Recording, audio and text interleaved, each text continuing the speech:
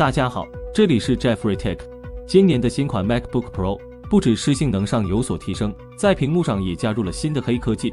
根据知名显示分析师 Russ Young 的最新消息，苹果在其最新的 M4 MacBook Pro 系列中首次引入了量子点显示技术。这一技术革新使得 MacBook Pro 的色彩表现更加生动准确。据 Russ Young 透露，苹果此前在 MacBook Pro 系列中采用的是红色 KSF 零光膜，主要是因为 KSF 不含有毒元素镉，这是量子点技术中常见的问题，并且效率更高，因此成本更低。而早在2015年，当苹果首次推出 Retina 屏幕的 MacBook Pro 系列时，公司高层曾考虑过量子点技术，但最终还是因为镉元素的使用而放弃了这一方案。不过，现在市场上已经有了不含镉的量子点选项。Russ Young 表示。这些不含镉的量子点选项在色域和动态性能上表现良好，甚至优于苹果之前使用的 KSF 零光膜。虽然 KSF 零光膜能够通过增强红色色调来提升色彩表现，但量子点膜在这方面更胜一筹，因为它通常能带来更好的色彩准确性和更宽的色域。量子点技术已经在高端显示器领域应用了多年，包括三星和索尼在内的多家公司都生产了基于量子点技术的 QLED 显示器和电视机。虽然苹果在发布 M4 MacBook Pro 系列时，并没有特别强调色彩方面的改进，但据官方数据，其最大 SDR 亮度已经从上一代的六百尼特提升到了一千尼特。当然，不只是 MacBook Pro 系列，随着技术的不断进步和成本的进一步降低，量子点技术也会普及到更多苹果产品中。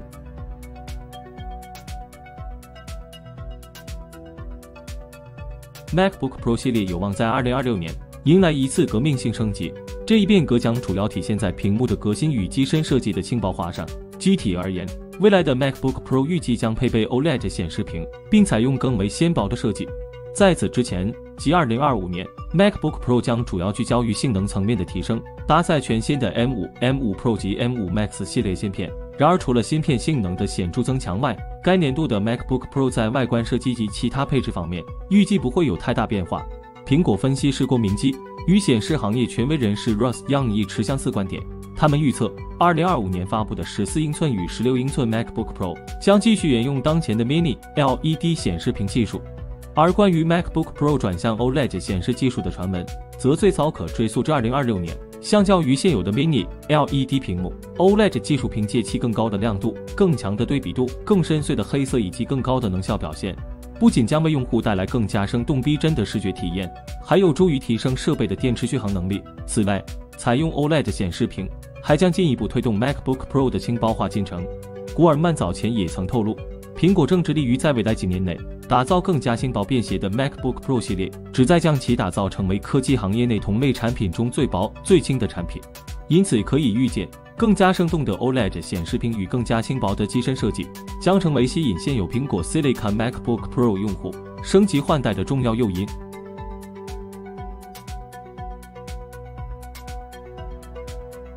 据大 e l e 报道，MacBook Air 系列产品由 LCD 屏幕更换至 OLED 屏幕的计划被再次推迟，搭载新屏幕的 MacBook Air 可能要到2028年才会发布。一位业内人士透露，零件开发计划被推迟了。目前看来。产品发布也不得不推迟。此前的预测是，苹果将会在二零二七年推出配备 OLED 屏幕的 MacBook Air。据悉，推迟的主要原因之一是 OLED 屏幕高昂的成本。和 LCD 屏幕相比，OLED 屏幕能够显示更鲜艳、更广色域的色彩和更高的对比度，其响应时间更快，并且不需要背光，这导致其生产过程更为复杂，需要更精细的制造工艺。此外，OLED 所使用的有机发光材料也是其高昂生产成本的来源之一。苹果目前正在寻求降低这一成本的方法，他们希望看到多家公司竞争提供 OLED 显示屏，以达到压价的目的。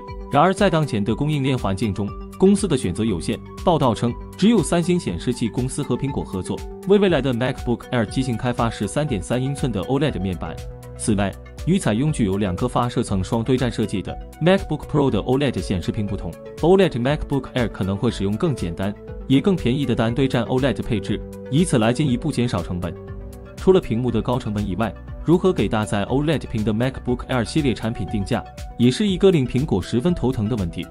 OLED 显示屏的高制造成本难免大幅提高 MacBook Air 的零售价格，但对于面向大众、性价比为主要卖点的这一产品线来说，仅仅对屏幕进行升级和昂贵的售价，将会使消费者的购买兴趣大打折扣。对此，一位匿名供应链官员表示，苹果将接受较低质量的 OLED 屏幕，并且需要找到一个平衡点，让 MacBook Air 的 OLED 显示性能接近 MacBook Pro 的水平，同时最大限度的减少由于 OLED 的应用而导致的价格上涨。苹果在今年上半年发布了搭载 M4 芯片和 OLED 屏幕的新款 iPad Pro。这款平板电脑无疑拥有出色的性能，但消费者似乎不太买账，导致它的销量远不及预期。预计的销量为接近一千万台，而实际出货量只有六百万至七百万台。OLED iPad Pro 难以令人满意的销售表现，可能会加剧苹果对 OLED 屏幕未来继续应用的担忧。同时，这也可能是导致苹果延迟推出 OLED MacBook Air 的原因之一。值得一提的是，除了上述内因之外，苹果还面临着外部竞争的压力。即使苹果党已经逐渐固化成为一批相对稳定的购买群体，但这并不意味着他们永远不会动摇。尤其是在 Win 系列笔记本电脑不断提质降价的现状下，Tom's Guide 指出，市场上不乏性能优秀、价格合理且配备 OLED 的笔记本电脑，比如华硕的 ZenBook S 十四、戴尔的 XPS 十五等。这些竞品使得苹果不得不重新考虑 Air 系列的竞争优势，并且调整其更新方向。以上就是本期视频的全部内容了。你期待搭载 OLED 屏幕的 MacBook 系列吗？欢迎与我们交流互动。想了解更多数码资讯，请订阅关注 Jeffrey Tech。我们下期再见。